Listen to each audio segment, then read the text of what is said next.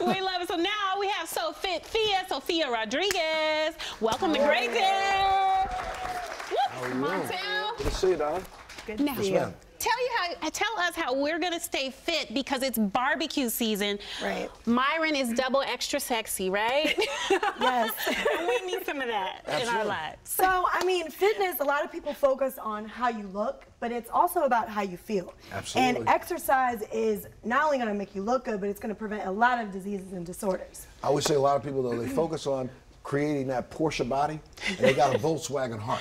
Oh, Yes. Okay, because they're not putting in the effort. That's a so good you gotta put in the effort. You got to do aerobics. Go ahead. I'll Exactly. So I'm going to break it down into five different components of wellness, okay? So the first one we're going to do is cardiovascular fitness. So if you have a step at home or stairs, whatever it may be, we're going to do a step test first. So I'm going to have you come over here.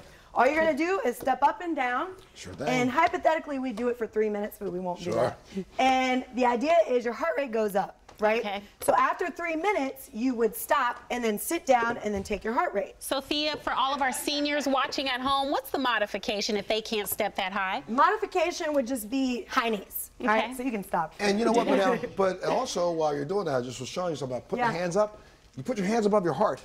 Keep mm. them above your heart as you exercise. Right. You add about 10% more work into your exercise. Yeah, that's so very just keep true. Your hands up. Just very keep true. them up. Simple. Anytime you move your hands. All right. Exactly. Okay. So next one is going to be muscular strength. Yes, ma'am. So we're going to do push-ups. There's different modifications. So I'll show you Push-ups each one.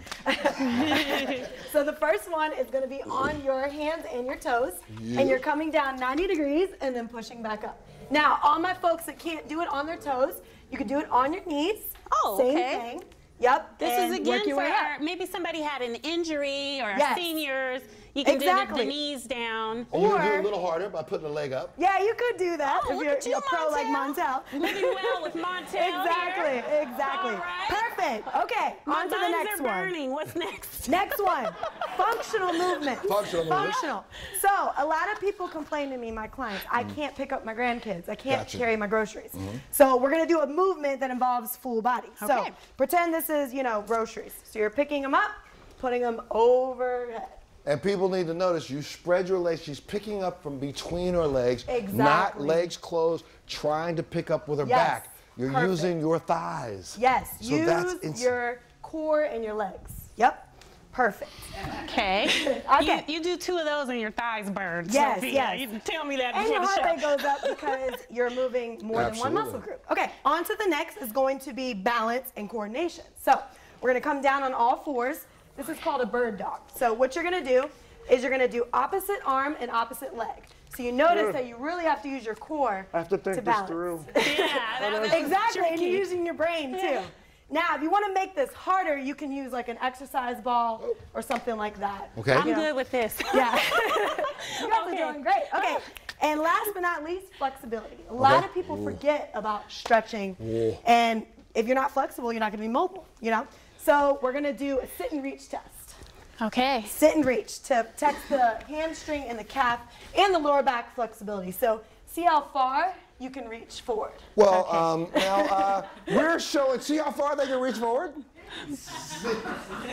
Exactly. If you can't touch your toes, you got to work on your flexibility. I do. Oh, okay. gotta That's what stretch that more. is. Exactly. Okay, this is good. Now you have some nutrition tips to leave us with before we get back to the barbecue. right? Absolutely. So it's not just about working out, it's about what you eat. Darn. Sure. Um, so eating a well-balanced diet, you know, low in saturated fats, low in sugars, low in sodium, a lot of veggies, fruits, you know, Yeah, I would all say that kind ribs of stuff. are low in.